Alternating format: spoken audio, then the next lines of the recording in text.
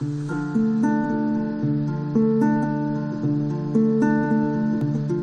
voulu euh, raconter une région dont je suis va dire, euh, je vais pas dire tomber amoureux, parce qu'on tombe amoureux de la Corse ou de la Bretagne, mais on tombe pas amoureux de l'île de France, mais il y avait un peu de ça. J'ai acheté un vélo, euh, comme tous les Parisiens, euh, même si je suis un Parisien d'adoption, j'ai très peu franchi le périphérique en 15 ans de vie parisienne. Et, et soudain, j'ai eu envie d'aller, je suis parti à la découverte de cette région que j'ai trouvée très très belle. quelque chose qui est très frappant dans les peintures, chez les peintres du 18e ou jusqu'à Corot, on trouve ça, le, pittoresque campagnard de l'île de France, quelque chose qui a complètement disparu, qui a été englouti dans la banlieue, mais c'est assez intéressant de confronter euh, les sites aux édifices humains qu'on a construits dessus. Le Grand Paris, très simplement, c'est l'histoire d'un c'est l'histoire d'un jeune homme qui s'appelle Alexandre Belgrand, qui naît à l'ouest de la, métropole parisienne, dans les beaux quartiers, enfin en banlieue, mais dans la, jolie banlieue.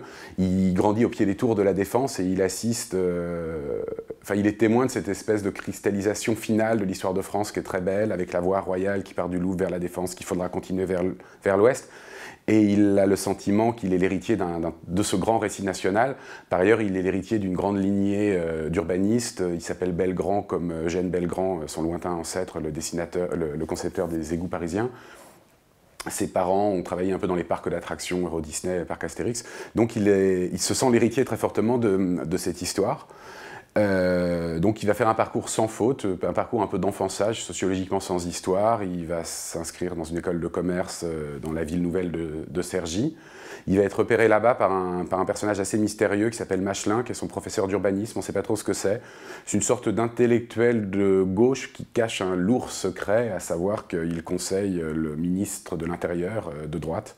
Donc on, est, on reconnaît assez vite les personnages. Un ministre de l'Intérieur de droite, on est au début des années 2000, il n'est pas, nommé nommément, je l'appelle le prince, mais le, le, modèle du personnage est, très réel. Et il va se retrouver ainsi à apprendre l'urbanisme et à apprendre la politique avec ce, personnage assez sombre. Euh, qui va l'initier, euh, qui va l'initier à cette science du gouvernement des hommes, euh, qui est l'urbanisme, et à cette science suprême du gouvernement des hommes qui est, euh, qui est la politique. Il va lui parler toujours mystérieusement d'un pacte théologico-politique qui régirait en secret l'histoire de l'Occident, qui réglerait les rapports entre le prince et le philosophe, entre le savoir et le pouvoir, et, qui permettrait surtout d'écarter cette chose assez trouble euh, et qui panique les Français en tant que les Français sont un peuple qui se prétend le plus moderne de l'histoire et qui s'est souvent vécu comme tel, cette chose qui est la religion. Donc c'est cette espèce de prisme entre le, politique, l'universitaire et le religieux va troubler considérablement la, conscience de mon héros, euh, qui s'appelle Alexandre Belgrand. Il va faire ses classes en Algérie, euh, construire une ville nouvelle au milieu du, désert saharien. Il va revenir. Euh, c'est de là qu'il va assister un peu à l'embrasement lointain de la France pendant les émeutes de banlieue de 2005, qui vont lui apparaître comme une sorte de, récit fantasmagorique de guerre civile, ce qui n'était pas là, mais vu de loin de l'autre côté de la Méditerranée. C'est comme ça qu'il assisterait à ça, comme si on retournait la position qu'on avait eue nous en France pendant les années, noires algériennes, où on a vu l'Algérie basculer dans la guerre civile. En l'occurrence, l'une était, était réelle, l'autre non. Mais voilà, cette espèce de. Du coup, il revient ce moment-là en France en 2007 pour le, la geste triomphale de la campagne. Et là, il intègre le premier cercle. Euh, en gros, un, en gros un, gang de jeunes hommes blancs bien, habillés, bien habillés venus des beaux quartiers, manucurés et, euh, et. Et. Euh, et là, il y a un moment euh, d'orgueil pur. Il, est au cœur du cœur de la machine. Lui, qui était né en banlieue à Colombes, se retrouve dans le triangle d'or parisien, dans les plus jolies rues du monde, euh, au confluent des, luttes d'influence politique, du luxe, etc. Cette espèce de bonbonnière, de bonbonnière dorée qu'est un palais républicain. Et là, il va concevoir, euh, puisque en France, pays un peu monarchiste malgré tout, il n'est pas de grand prince en grand projet, il va concevoir le grand projet du président,